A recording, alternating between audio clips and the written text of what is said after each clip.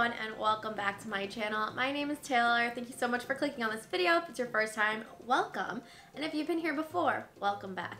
Today's video is going to be the travel tag. So the travel tag is just a video that is floating around YouTube. It's one of their tag videos and it's for all people who love travel and all that. So without further ado,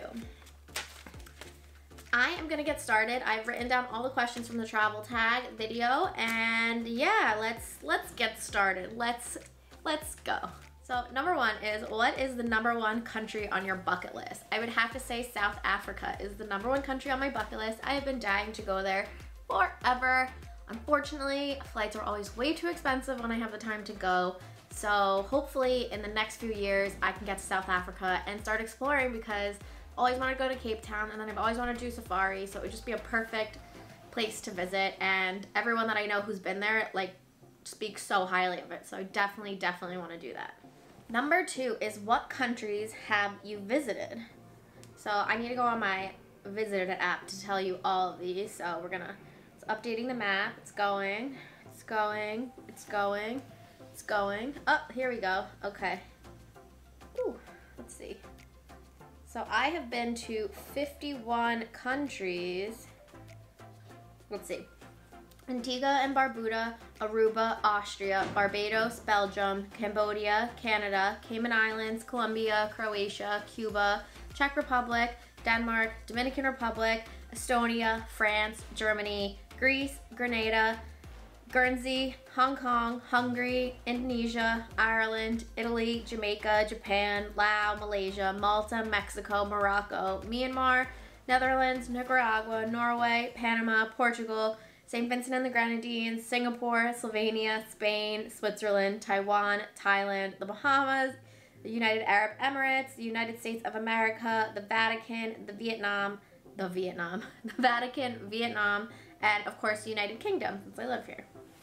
That's a long list. Number three is what is your most ideal holiday? I think that my most ideal holiday would be somewhere hot where there's a beach, but where there's also a nice little town nearby that you can explore and hang out with locals and just kind of like kick back and relax and get like a nice feel. Like you can chill by the beach in the morning and then go out exploring in the afternoon.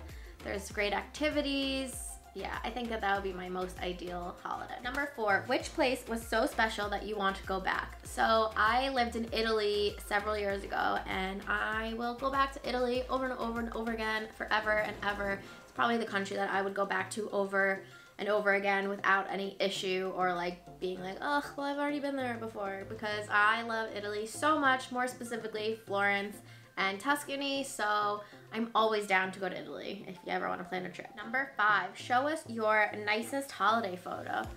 Ooh, I don't know what that would be. Let's give the gram, the good old gram a nice little scroll. So you can follow me on Taylor underscore score Fuller on Instagram if you would like. I feel like I should pick one that's like semi-recent, maybe? This photo, I'll pop it on the side so you can see it better. But it's from Thailand and it's such a beautiful, beautiful setting. So definitely that photo. Number six, do you travel for work? Yes, I travel for work. I am a travel blogger, so I am always traveling for work. I am all over the place all the time, except right now I have nothing coming up and that scares me a little bit. Number seven, who are you going on holiday with most? So lately, over the last year, it's probably either my boyfriend Jake or other travel bloggers because they do a lot of press trips. Which Number eight, who would you like to go on vacation with? I think that there are many people that I would like to go on vacation with. My two best friends from college and I used to go on a trip every year together and we haven't done one we didn't do one this past year. We did one the year before, but that we hadn't done one for a few years in between that. So we've been to Bali, Malaysia, Singapore, Spain, and the UK and Dominican Republic together. I feel like I'm missing more places. But yeah, off the top of my head, that's where we've been together. So I'd love to do another trip with them. It's obviously a little bit tough because they live in America and I live over here. But if you're watching, Marissa and Nicole, let's get something planned. Number nine, who or what would you take with you on a deserted island? Well, I would take my boyfriend because I don't think I could go to a deserted island without him. And I would probably bring like a water filter and matches and a collection of books. I don't think I would want my phone or anything like that because I would just like to fully embrace the fact that it's a deserted island and I could be unplugged and I would have a good excuse for being unplugged.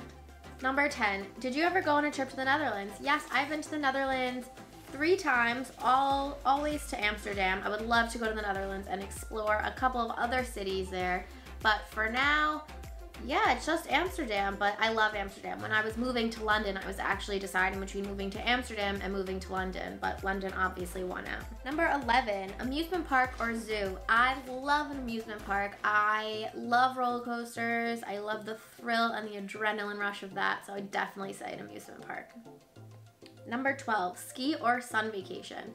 I'm gonna have to go with sun. I used to ski growing up, but I haven't gone skiing in like probably 10 years. Yeah, so I would definitely choose a sun vacation. I love the beach, I love the outdoors, and yeah, I just, I mean, when the sun is out, like how could you be in a bad mood, you know? Number 13, what is your nicest holiday memory? I think I have two. One of them would be exploring Thailand with my boyfriend for the first time. He had never been to Asia and I used to live in Thailand.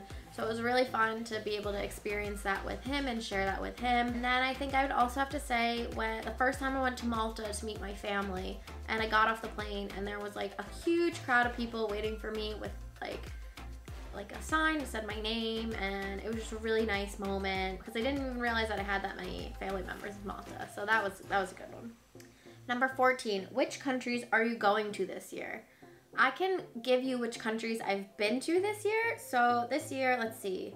I've been to Germany, Thailand, the UAE, the US, Antigua, Spain, France, Guernsey, Austria, and Norway. I actually have nothing planned, but I'm hoping to make it to Sweden, maybe Poland, and maybe back to the States. I'm not sure if that'll be this year though or next January. So yeah, that's it for right now. And 15, where would you never go to?